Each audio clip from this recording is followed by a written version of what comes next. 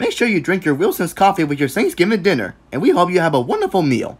It's wonderful to you. You're not the main course.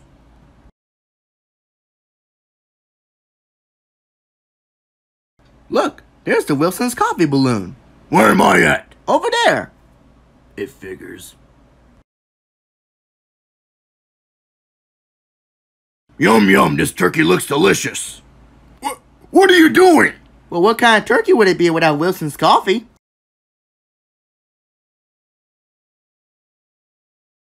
What are you thankful for? Wilson's coffee. I'm not. Watkins, Mom? I saw that raised you better.